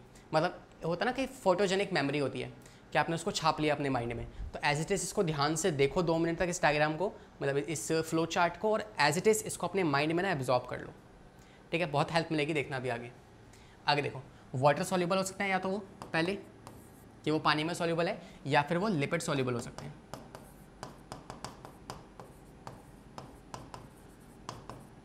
ठीक है? वाटर सॉल्यूबल या लिपिड सॉल्यूबल अब मुझे एक मिनट दो, है ना? ये वाला पार्ट ना मैं आपको नेक्स्ट स्लाइड पे समझाऊँगा। पहले काम करते हैं, हम पहले मैकेनिज्म समझते हैं हार्मोन्स का कि हार्मोन्स काम कैसे करते हैं, फिर हम लास्ट इसको पढ़ लेंगे, ठीक है कि वो वाटर सोल्यूबल है या फिर लिपिड सोल्यूबल है ओके तो काम करते हैं, पहले हमें काम, हम ना मैकेनिज्म समझते हैं, है ना? ये एक और क्लासिफिकेशन है आपके हार्मोन्स की। सर, कितनी क्लासिफिकेशन है? तो वी कैन क्लासीफाई देम है ना? हमारे पास हार्मोन्स तो सेम है, बस आप उन्हें अलग अलग फ़ंक्शन के बेसिस पे डिवाइड कर रहे हैं। तो देखो, दो तरीके के हार्मोन्स को आप वापस क्लासीफाई कर सकते हो। इस बार आप बेसिस क्या रखोगे? कि भाई उनका टारगेट साइट कहाँ पे है? कुछ हार्मोन्स ऐसे हो सकते हैं जो कि यार अपने बगल वाले सेल्स पे ही काम कर दें। कुछ हार्मोन ऐसे हो सकते हैं जो यार ब्रेन से निकल के टेस्टिस तक ट्रैवल कर रहे हैं, जैसे testosterone right sorry F S H L H ये हॉर्मोन्स जो है बहुत लंबा डिस्टेंस ट्रैवल करते हैं। तो जो हॉर्मोन्स बहुत लंबा डिस्टेंस ट्रैवल करेंगे we call them circulating hormone जो कि एक पार्ट से रिलीज़ हो रहे हैं ब्लड के थ्रू वो दूसरे वाले पार्ट तक ट्रैवल कर रहे हैं, जो उनसे काफ़ी दूर है। So we call this as a circulating hormones और जो हार्मोन्स अपने पास वाले सेल्स पे ही काम करना स्टार्ट कर दें जैसे यहाँ से निकले तो यहाँ पे काम कर दिया यहाँ से निकले यहाँ पे काम कर दिया तो ऐसे वाले जो आपके हार्मोन्स होते हैं they are local hormones simple क्या मुश्किल है इसमें है ना? तो एक और तरीके से हमने क्लासिफिकेशन कर लिया। तो हमने किस किस तरीके से क्लासीफाई किया है? पहला कि उनका ऑरिजिन कैसा हुआ है। दूसरा क्लासिफिकेशन वॉज़ बेस्ड ऑन कि भाई आ, उनका नेचर क्या है कॉम्पोजिशन क्या है वो किस चीज़ से बने हैं। तीसरा क्लासिफिकेशन है सोल्यूबिलिटी वो जो भी हम पढ़ने वाले हैं। चौथा क्लासिफिकेशन उनका टारगेट कहाँ पे है? दूर है या पास है? सर्कुलेटिंग या फिर लोकल हार्मोन्स अब हम पढ़ते हैं मैकेनिज्म ऑफ़ हॉर्मोन्स के हार्मोन्स काम कैसे करते हैं, ठीक है? तो इसके लिए मैं आपको एक एग्जांपल देता हूँ, जैसे ग्लूकोज का एग्जांपल देते हैं, है ना? इंसुलिन का. तो एक एग्जांपल के थ्रू मैं आपको समझा दे रहा हूँ कि हाउ डज़ इट वर्क फिर हम दो तरीके से पढ़ेंगे इसको, है ना? पहले यहाँ पे समझो। क्या हुआ कि मान लो आपकी बॉडी के अंदर ना बॉडी के अंदर ग्लूकोज की मात्रा ज़्यादा हो गई है है ना? तो मान लो ये आपकी ब्लड वेसल्स हैं। और इस ब्लड वेसल में क्या हुआ? ग्लूकोज की मात्रा ज़्यादा है। इट इज़ ग्लूकोज अब जब इसमें ग्लूकोज की मात्रा ज़्यादा हो गई है ना तो क्या करेगी बॉडी बॉडी इंसुलिन निकालेगी। बिकॉज़ इंसुलिन क्या करता है? Cellular uptake of glucose increase कर देता है। तो आपके ब्लड में जो ग्लूकोज का लेवल ज़्यादा हो गया है, वो ग्लूकोज कौन यूज़ कर लेगा? सेल्स यूज़ कर लेंगी। और इस तरीके से आपके ब्लड में ग्लूकोज का लेवल कम हो जाएगा या नॉर्मल हो जाएगा, ठीक है? This is how it functions तो इस ग्लूकोज को अपटेक कौन कर लेगा? इंसुलिन अपटेक करवा देगा। तो मान लो हमारे पास क्या एक सेल है? ये हमारे पास एक सेल है, ठीक है? इस सेल में क्या लगे होंगे? कुछ रिसेप्टर्स लगे होंगे। ये मान लो एक रिसेप्टर है, ये दूसरा रिसेप्टर है। तो क्या हुआ? जैसे ही आपकी बॉडी में ग्लूकोज का लेवल बढ़ा तो आपके ब्रेन तक सिग्नल गया। आपके ब्रेन ने क्या कर दिया? इंसुलिन को सिग्नल भेजा कि भाई मतलब पेनक्रियास को सिग्नल भेजा कि भाई इंसुलिन निकलवा दो। अब इंसुलिन निकला। इंसुलिन निकला उसने जाँच पड़ताल की कि भाई सच में क्या ग्लूकोज का लेवल बढ़ गया है? तो इसको लगा, पता लगा कि हाँ भाई बढ़ गया है सच में। तो ये इंसुलिन जाके अटैच हो जाएगा सेल्स के ऊपर। तो इंसुलिन एक हार्मोन है। सेल के पास इसके रिसेप्टर्स हैं तो रिसेप्टर ने इस इंसुलिन को एक्सेप्ट कर लिया। इससे क्या होगा, जैसे ये इंसुलिन जो है वो अपने रिसेप्टर के साथ बाइंड करेगा ना तो सेल के ऊपर जो मौजूद थे क्या? सेल के ऊपर जो गेटेड चैनल मौजूद थे, वो गेटेड चैनल खुल जाएँगे। और जैसे ही वो गेटेड चैनल खुले तो सेल्स ने इस ग्लूकोज को इस्तेमाल करना स्टार्ट कर दिया। तो सेल क्या करेगी सेल इस ग्लूकोज को इस्तेमाल करना स्टार्ट कर देगी। और इस तरीके से cellular uptake of glucose increase होगा और ब्लड में ग्लूकोज की मात्रा कम हो जाएगी। अब नाउ, इसमें मुद्दा क्या था समझाने का? समझाने का मुद्दा सिर्फ़ इतना था कि यार, हर सेल के पास रिसेप्टर्स होते हैं। हार्मोन जिस ऑर्गन से निकलेगा, वो सिर्फ़ उसी पार्ट पे अटैच हो पाएगा या उसी पार्ट पे फंक्शनिंग करेगा जिसके पास उसके रिसेप्टर्स हों। जैसे, मिसाल के तौर पे, आपके ब्रेन से निकले एफएसएच और एलएच ये कहाँ काम करेंगे? आपको पता है F S H L H के रिसेप्टर्स जो हैं, वो आपके आपके टेस्टिस के पास होते हैं। ठीक है? क्या आपको सच में लगता है कि जो hormones F S H L H आपके ब्रेन से निकले हैं और ब्लड में डाल दिया, अब ब्लड से क्या वो सिर्फ़ टेस्टिस तक पहुँचेंगे? नहीं। वो हॉर्मोन्स जो हैं, वो आपके बॉडी के हर पार्ट तक पहुँच रहे हैं। तो F S H L H यहाँ भी पहुँचा है किडनी में भी पहुँचा है, आपके इंटेस्टाइन में भी पहुँचा है, हर जगह पहुँचा है। तो क्या मेरा हाथ, मेरे हाथ की सेल्स भी यू नो स्पम्स की प्रोडक्शन करना स्टार्ट कर देगी? नहीं। क्यों नहीं करेगी? क्योंकि इसके रिसेप्टर सिर्फ़ कहाँ पे होंगे? तो एफएसएच और एलएच के रिसेप्टर सिर्फ़ पाए जाएँगे टेस्टिस में तो सिर्फ़ वही काम करेगा। ठीक है? तो हार्मोन सिर्फ़ वहीं काम करते हैं, जहाँ उनके रिसेप्टर्स होते हैं। ये बात आपको अपने जहन में उतार लेनी है। हार्मोन सिर्फ़ वहीं काम करते हैं, जहाँ उनके रिसेप्टर्स होंगे। रिसेप्टर्स जैसे ही उसके साथ बाइंड करेगा, यहाँ बनेगा हार्मोन रिसेप्टर कॉम्प्लेक्स और उसकी मदद से फिर आगे फ़ंक्शन परफॉर्म किया जाएगा। ओके तो ये बेसिक सी बात समझ में आ गई, बहुत ईजी बात है। होपफुली आपको समझ में आ गई होगी। अब मैं आपको जो आगे पढ़ाने वाला हूँ, अब आपके लिए वो ईजी हो जाएगा। ठीक है? तो अब इसी बेसिस पे हम दो तरीके से हार्मोन्स को डिवाइड करेंगे। कुछ हॉर्मोन्स जो फास्ट एक्टिंग होते हैं रैपिडली एक्टिंग होते हैं, कुछ हॉर्मोन्स जो कि स्लो एक्टिंग होते हैं। ठीक है? लेट्स टॉक अबाउट दिस तो आप हो गए पहले फास्ट एक्टिंग हॉर्मोन्स क्या होते हैं? तो फास्ट एक्टिंग हॉर्मोन्स जो होते हैं ना फास्ट एक्टिंग हॉर्मोन्स जो होते हैं इसमें आपके एग्जाम्पल्स आते हैं बायोजेनिक अमाइंस और पेप्टाइड हॉर्मोन्स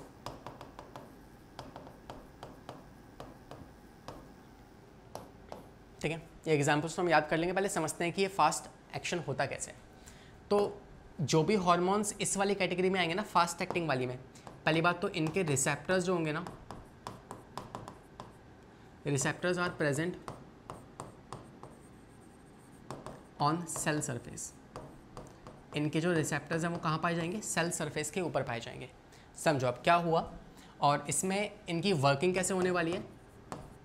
तो ये वाले हॉर्मोन्स कैसे काम करेंगे? With the help of secondary messengers secondary messengers समझते हैं क्या कह रहा हूँ मैं आपसे, ठीक है? ये कौन सी भाषा में बोल गया, है ना? सेकेंडरी मैसेंजर्स के एग्जाम्पल्स भी हैं, कुछ मैं एग्जाम्पल्स भी पहले लिख लेता हूँ, फिर एक साथ समझेंगे इसको। एग्जाम्पल्स होगा सी ए एम पी ठीक है? जी ए एम पी इसके अलावा I P three iodo triphosphate inositol sorry not iodo it's inositol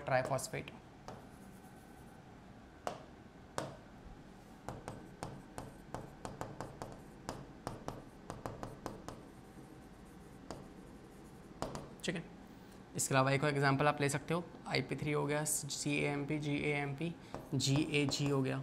या। ठीक है, ये एग्जांपल से भी आप लिख लो फ़िलहाल को। ठीक है? हाँ यहाँ देखते हैं। अब क्या होगा कि मान लो आपके पास कोई एक हार्मोन है, ये हार्मोन आया, इसको इस जगह पे बाइंड करना है। ये हार्मोन था, ये आया, ये सेल के पास आके इसके रिसेप्टर के ऊपर बाइंड कर गया। और जैसे ही ये इसके ऊपर आके बाइंड किया तो क्या बन गया? ये बन गया एच आर कॉम्प्लेक्स अब मुझे एक बात बताओ कि फास्ट एक्टिंग हार्मोन के रिसेप्टर्स कहाँ होते हैं? सेल मेम्ब्रेन पे होते हैं। तो इसका रिसेप्टर सेल मेम्ब्रेन पे है। हार्मोन आके बाइंड किया। बाइंड करने के बाद क्या होगा? जैसे इस पर बाइंड किया तो इसके अंदर कुछ एंजाइम्स होंगे। जैसे मान लो एक एंजाइम था एडिनल साइक्लेस ये इनएक्टिव फॉर्म में था। ये कन्वर्ट हो गया एडिनाइल साइक्लेज में, जो कि एक्टिव फॉर्म है। कब कन्वर्ट हुआ? जब इस पर रिसेप्टर पे बाइंड किया हॉर्मोन्स तो पहला कन्वर्जन हुआ। फिर इसके कन्वर्ट होने की वजह से जो सेल के अंदर एटीपी था, वो एटीपी कन्वर्ट हो गया सी के अंदर। जैसी सी बना, वैसी एक और एंजाइम प्रोटीन काइनेज वो इनएक्टिव था, वो एक्टिवेट हो गया। ठीक है? अब जैसे प्रोटीन काइनेज एक्टिव हुआ, उसने एक और एंजाइम जैसे ग्लाइकोफॉस्फेट फॉस्फोराइलेज को कन्वर्ट कर दिया। एक्टिव ग्लाइकोफॉस्फोराइलेज में, और फिर ये जो है, ये फाइनली जैसे बनेगा, वैसे ही ये ग्लाइकोजन को ग्लूकोज में कन्वर्ट कर देगा और ग्लूकोज आपको एनर्जी दे देगा। ठीक है? तो it's like what is happening here यहाँ पे क्या हो रहा है? जैसे आपने वो गेम देखा है, जिसमें क्या होता है कि एक पर्सन के पास कोई एक बॉल है या फिर कोई एक लेटर है, वो दूसरे को पास करेगा। दूसरा वाला जो है, वो तीसरे को पास करेगा। तीसरा वाला चौथे को पास करेगा। तो इट्स लाइक like ऐसा ही कुछ गेम हो रहा है कि जैसे ही इम्पल्स आया इम्पल्स एक से दूसरे पे गया, दूसरे से तीसरे पे, चौथे पे, पाँचवें पाँच छठे, इस तरीके से। तो ऐसे इम्पल्स ट्रैवल कर रहे हैं, है ना? तो इन्हें आप कहोगे सेकेंडरी मैसेंजर्स जो इम्पल्सेस ट्रांसमिट करवा रहे हैं ना। जैसे एक एग्ज़ाम्पल यहाँ पे किसका? सी एम पी का। सी एम पी जो है, ये एक सेकेंडरी मैसेंजर है। सेकेंडरी मैसेंजर है ये। और इस तरीके से सिग्नल्स का ट्रांसमिट हो हो के लास्ट में आपको एक्शन होता हुआ दिख रहा है। जिसके लिए ये ये हार्मोन आया था जिस काम को करवाने के लिए, वो काम आपको होता हुआ दिख रहा है, लेकिन कैसे? सेकेंडरी मैसेंजर्स की मदद से, ठीक है? और ये क्यों हो रहा है? बिकॉज़ इसके हार्मोन्स के जो रिसेप्टर्स हैं, वो कहाँ पे हैं? आपके सरफेस के ऊपर प्रेजेंट हैं। तो दो कैटेगरी ऑफ़ हार्मोन जो है, वो इस तरीके से फ़ंक्शन करते हैं। कौन कौन से? बायोजेनिक जिसमें कौन कौन से एग्जाम्पल्स थे? याद करो रिवाइंड करो फटाफट से। इसमें आते हैं आपके एड्रीनलिन नॉर एड्रीनलिन ठीक है? T three sorry T three T four नहीं, ये नहीं आएँगे। एड्रीनलिन नॉर एड्रीनलिन और इसके अलावा पेप्टाइड हार्मोन जितने भी होंगे, वो सारे के सारे क्या हैं? वो इस तरीके से काम करते हैं। ठीक है? तो सेकेंडरी मैसेंजर्स का इस्तेमाल होगा इन हार्मोन्स के फंक्शनिंग के लिए। सेकेंड इनके रिसेप्टर्स कहाँ पाए जाएँगे? सेल सरफेस के ऊपर पाए जाएँगे। और ये फास्ट एक्टिंग होते हैं रैपिडली एक्टिंग होते हैं, फटाफट से काम करते हैं। डन है? चलिए तो कुछ एग्जाम्पल्स और लिख दिए मैंने यहाँ पे। जैसे कि आपके जो सी ए एम पी का इस्तेमाल करेंगे, वो ये वाले हॉर्मोन्स हैं। ठीक है? ये हॉर्मोन्स जो हैं सी ए एम पी को यूज़ करेंगे एज अ सेकेंडरी मैसेंजर्स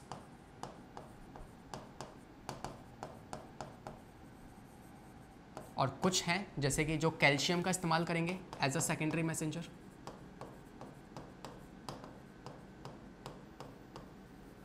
तो उनके एग्जांपल्स मैंने यहाँ पे मेंशन कर दिए। ठीक है?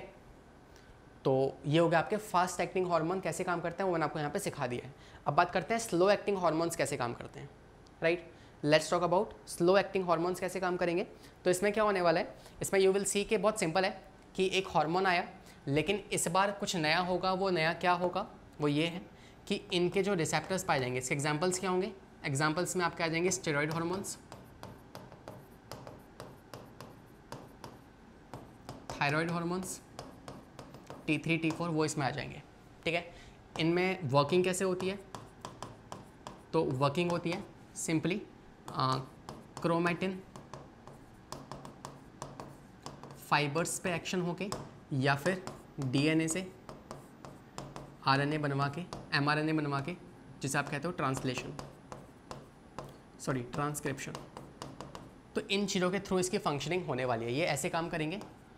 और इसके अलावा कैसे तो इनके रिसेप्टर्स कहाँ पाए जाएँगे? तो इनके रिसेप्टर्स जो है ना, वो पाए जाएँगे इनसाइड साइटोप्लाज्म साइटोप्लाज्म के अंदर इनके रिसेप्टर्स पाए जाएँगे। अब एग्जांपल समझो, जैसे ईस्ट्रो, ईस्ट्रोजन। ठीक है, क्या था एक? स्टेरॉयड हार्मोन था, टेस्टोस्टेरोन हो गया ईस्ट्रोजन हो गया, ये हार्मोन आया। ये जो है, इसके रिसेप्टर्स कहाँ पे हैं? सेल के अंदर पाए जाएँगे। तो ये डायरेक्टली आपके मेम्ब्रेन को क्रॉस कर जाएगा। ठीक है? ये डायरेक्टली मेम्ब्रेन को क्रॉस कर कर जाएगा। अब क्रॉस करने से क्या होगा? जैसे इसने मेम्ब्रेन को क्रॉस किया तो इसके रिसेप्टर के पास बाइंड होगा। क्या बन जाएगा? H R complex. ये जैसी कॉम्प्लेक्स बना तो सिग्नल जाएगा न्यूक्लियस के अंदर। न्यूक्लियस में डीएनए जो है वो एमआरएनए बना देगा और एमआरएनए से फिर क्या होगा? ट्रांसलेशन होकर प्रोटीन्स बन जाएँगे और ये प्रोटीन्स जो है ये फिर फिजियोलॉजिकल इफ़ेक्ट शो कर देंगे। जिस काम के लिए हार्मोन आया था, वो वाला काम यहाँ से शो हो जाएगा। तो डिफरेंस क्या है इसका? पहली बात, ये स्लो काम करेगा। दूसरी बात, इसके रिसेप्टर सेल के अंदर पाए जा रहे हैं। तीसरा, ये कन्वर्जन ट्रांसलेशन या ट्रांसक्रिप्शन के थ्रू काम कर पा रहे हैं। आई बात समझ में? तो इस तरीके से काम करेगा और this is called as slow acting hormones इसमें सेकेंडरी मैसेंजर्स की ज़रूरत नहीं है। तो no secondary messengers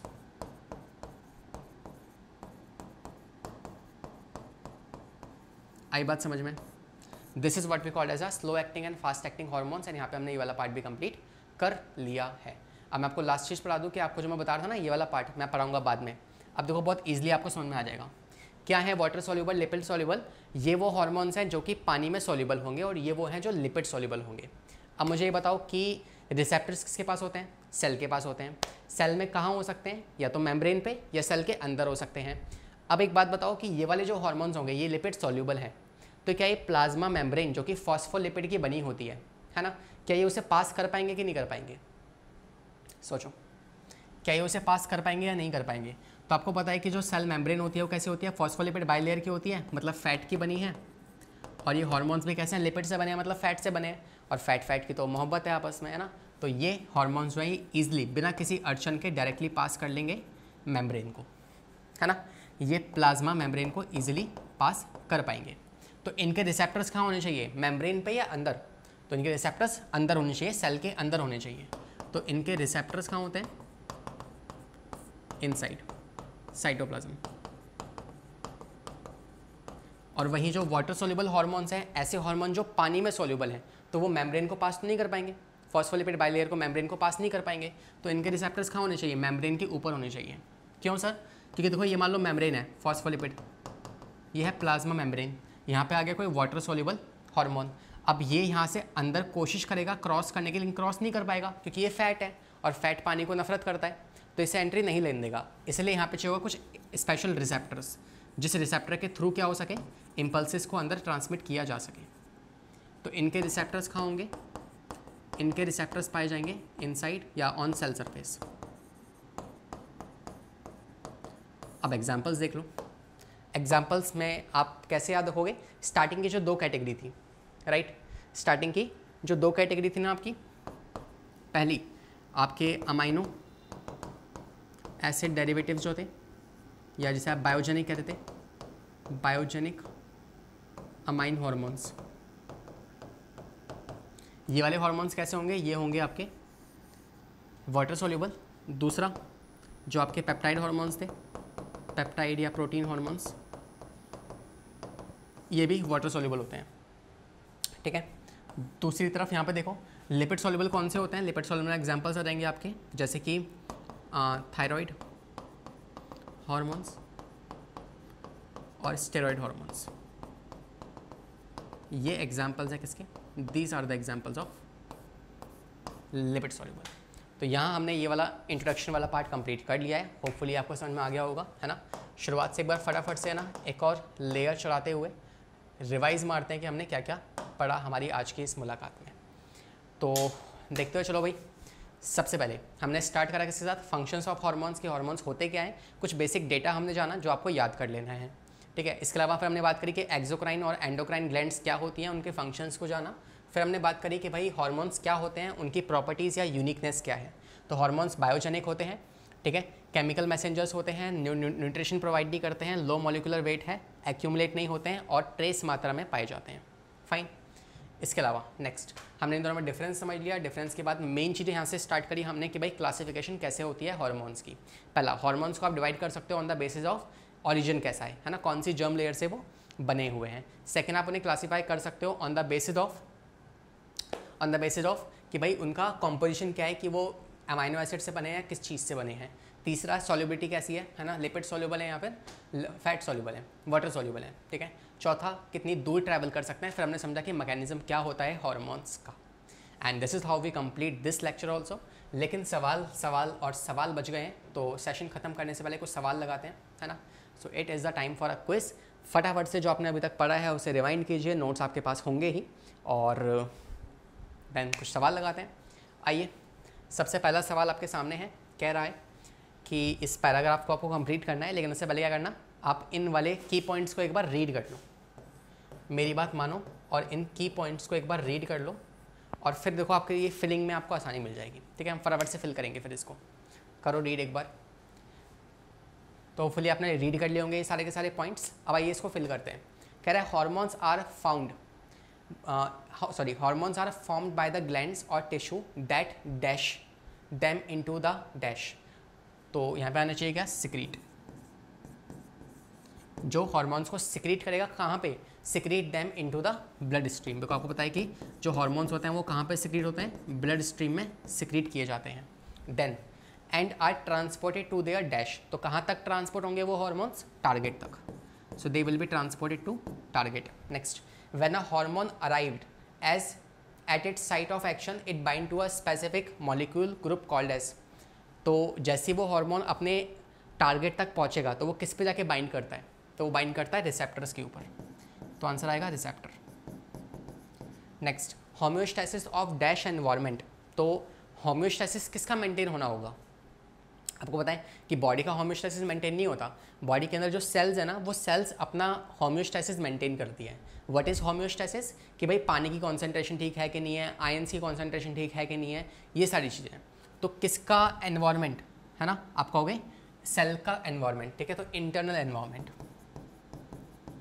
internal environment तो homeostasis of internal environment is maintain partially by nervous system and partially by endocrine system ये बात हम जानते हैं। Next the former is concern with dash changes तो बनाने वाला कौन है? नर्वस सिस्टम तो नर्वस सिस्टम जो है वो किस बात से कंसर्न करेगा? फास्ट एक्शन से। फास्ट चेंजेस से, है ना? Whereas those that are involve in endocrine system तो वो चीज़ें जो एंडोक्राइन सिस्टम में इन्वॉल्व होंगे, जैसे हॉर्मोन्स वो कैसे काम करेंगे? स्लो तो वो स्लो होंगे और प्रिसाइज होंगे और कॉन्टीन्यूस होंगे। कॉन्टीन्यूसली काम करते रहेंगे। Next chemically hormones fall into two groups एक प्रोटीन बेस्ड होते हैं और दूसरे एक होते हैं प्रोटीन बेस्ड और दूसरे होते हैं आपके लिपिड बेस्ड ठीक है? या स्टेरॉइड बेस आप कह सकते हो। ठीक है? या फिर लिपिड बेस दोनों एक ही बात है। इसके अलावा hormones in the first group are dash soluble and include what kind of hormones तो पहले ग्रुप में कौन से हॉर्मोन्स आते हैं? वाटर सोल्यूबल हॉर्मोन्स जो पानी में सोल्यूबल्स हैं। क्या उनके एग्जाम्पल्स आप दे सकते हो? यस सर हमने अभी लिखे राइट? ये क्या है? वाटर सोल्यूबल हॉर्मोन्स कौन कौन से हो सकते हैं? बायोजेनिक अमाइंस वाले, जिसमें एड्रीनलिन नॉर एड्रीनलिन मेलाटोनिन आ जाएगा, और दूसरे कौन से होंगे आपके? ऑक्सीटोसिन है ना? ये सारे हॉर्मोन्स कौन से होंगे आपके? पेप्टाइड प्रोटीन वाले। तो एग्जाम्पल्स आ जाएँगे आपके। एड्रेनलिन नॉर एड्रेनलिन यहाँ पे कौन सा दिया हुआ है? एड्रेनलिन इसके अलावा ग्लूकागॉन आ जाएगा, इसके अलावा इंसुलिन ठीक है? इंसुलिन ग्लूकागॉन ग्लूकागॉन क्या है? एक प्रोटीन हार्मोन है। Next latter the group includes बाकी वाले ग्रुप्स में क्या आ जाएँगे आपके? स्टेरॉइड्स और स्टेरॉइड्स में एग्ज़ाम्पल क्या होता है? ईस्ट्रोजन लिखा है यहीं पे यहाँ पे? लिपिड सॉरी यहाँ आ जाएगा स्टेरॉइड यहाँ आ जाएगा स्टेरॉइड्स ठीक है? तो इस तरीके से हमने इसको फिल कर लिया है। ध्यान से भाई देख लेना एक बार। ओके सो आई थिंक ये एक अच्छा सवाल था बिकॉज़ इससे आपका थोड़ा सा माइंड खुलेगा, है ना? बिकॉज़ ऑब्जेक्टिव सवाल कर करके तो यार हमारा, हम बदमाश हो गए हैं कि हमारा फट से आंसर आ जाता है। लेकिन जब आप ऐसे क्वेश्चन करोगे तो आपका माइंड थोड़ा चलना स्टार्ट होता है राइट अगला सवाल।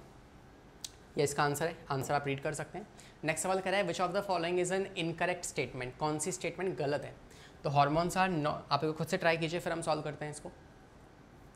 होपफुली वीडियो को पॉज किया होगा ट्राई किया होगा आपने। लेटेस्ट सी क्या आंसर है इसका।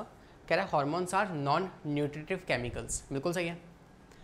आपसे इनकरेक्ट पूछा है तो ये तो सही है। Hormones are required in trace amount ये भी सही है। हॉर्मोन्स आर इंट्रासेलुलर नहीं। हॉर्मोन्स कैसे होते हैं? इंटर सेलुलर होते हैं। इंटर सेलुलर ये एक सेल से दूसरी सेल पे अपना एक्शन परफॉर्म करते हैं। This is the incorrect statement अगला सवाल पढ़िए और देखते हैं। कौन है? सिकंदर। कौन है? अनाड़ी। कौन है? खिलाड़ी। Chemically hormones are chemically hormones क्या हो सकते हैं? क्या सिर्फ़ बायोजेनिक अमाइंस होते हैं? क्या सिर्फ़ प्रोटीन्स होते हैं? क्या सिर्फ़ स्टेरॉइड्स होते हैं? नहीं। ये प्रोटीन से भी बने हो सकते हैं, ये स्टेरॉइड से भी बने हो सकते हैं और ये बायोजेनिक भी हो सकते हैं। नेक्स्ट डकलेस ग्लैंड कौन सी होती हैं? तो प्रोड्यूसेस द नॉन न्यूट्रेटिव मतलब कि हॉर्मोन्स को प्रोड्यूस करेंगी। एज अस इंटरसेलुलर ये बात सही है। फाउंड इन नॉन कॉर्डेट्स नहीं नॉन कॉर्डेट्स में तो एंडोग्राइन सिस्टम होता ही नहीं है। ठीक है?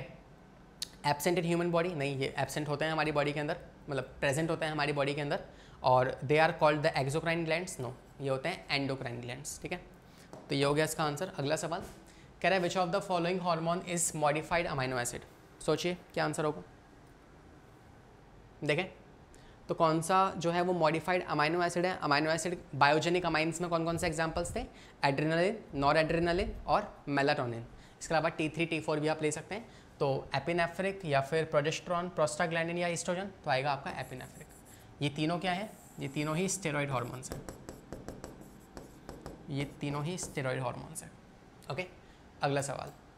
तो ये कह रहा है कि invertebrate possess dash endocrine system with dash hormone whereas vertebrates include dash hormone that this तो खुद से ट्राई कीजिए। फिर करते हैं सॉल्व इसको। देखें। देखो, आपको ये बताना है कि इन्वर्टिब्रेट्स थोड़े से लोअर हैं, है ना? ज़्यादा एडवांस नहीं है और हम लोग वर्टिब्रेट ज़्यादा एडवांस हैं, है ना? तो क्या मैं ये कह सकता हूँ कि इन्वर्टिब्रेट जो कि थोड़े से लो हैं, हमसे पहले आए थे तो उनमें जो एंडोक्राइन सिस्टम है वो थोड़ा सिंपल होगा राइट तो इन्वर्टिब्रेट्स में एंडोक्राइन सिस्टम कैसा होगा? Simple right? With dash hormone कैसे हार्मोन्स बहुत कम हार्मोन्स पाए जाएँगे उनके अंदर। कम मतलब मेरा नंबर से मतलब है है ना? कम अमाउंट से नहीं नंबर तो दो तीन तरह के हार्मोन्स होंगे उसके अंदर। तो उनके पास सिंपल और कम हार्मोन्स होंगे। हमारे पास कैसा है? कॉम्प्लेक्स है। हमारा एंडोक्राइन सिस्टम कॉम्प्लेक्स है और हमारे पास ज़्यादा नंबर ऑफ़ क्या है? हार्मोन्स हैं। ज़्यादा से मैं वापस बोल रहा हूँ अमाउंट से नहीं कह रहा कि ये ज़्यादा रिलीज़ होते हैं। ज़्यादा का मतलब है ज़्यादा टाइप्स के, है ना? हमारे पास दस तरह के, बीस तरह के हॉर्मोन्स प्रेजेंट है। फाइन तो ये इसका आंसर होगा। अगला सवाल। Action on of the peptide hormones on a target cell is mediated by hopefully आपने ट्राई किया होगा। पॉज करो वीडियो को, नहीं किया तो। साइक्लिक ए आपको पता है कि टारगेट सेल पे उन हॉर्मोन्स को एक्शन करना है और ये कौन है? पेप्टाइड वाले हैं। पेप्टाइड और पहले वाले अमाइनो एसिड ये दोनों ही कैसे होते हैं? They both are basically fast acting और ये दोनों अगर फास्ट एक्टिंग है तो they will be cyclic A लिखवाया हुआ है यार। देखो ध्यान से। सारी बातें नोट्स में लिखी हुई हैं। फास्ट एक्टिंग कौन से होते हैं? बायोजेनिक अमाइंस और पेप्टाइड हॉर्मोन्स है ना? और स्लो वाले कौन से होते हैं? स्टेरॉइड हॉर्मोन्स और थायरॉयड हॉर्मोन्स इसलिए मैं आपसे कह रहा हूँ कि इस, इस चीज़ को आप एज इट इज़ याद कर लोगे ना तो बहुत ईजी है। स्टार्टिंग के दो कैसे थे? बताओ। बायोजेनिक और पेप्टाइड ये दोनों कैसे हैं? फास्ट एक्टिंग है।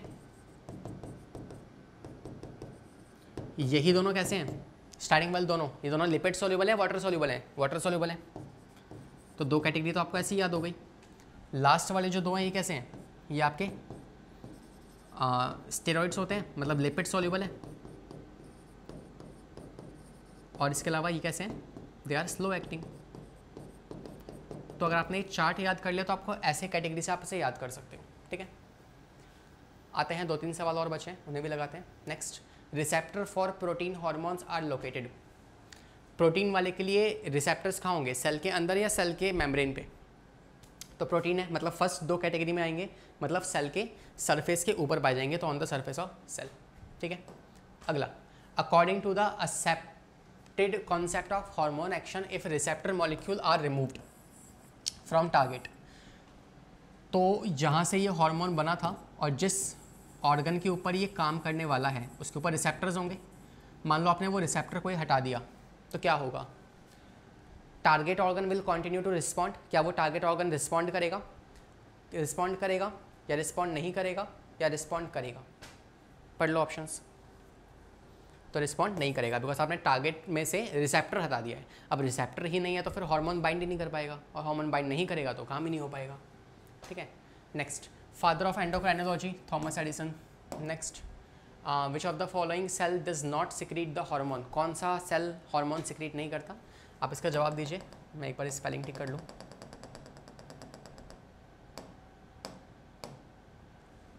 It's Edison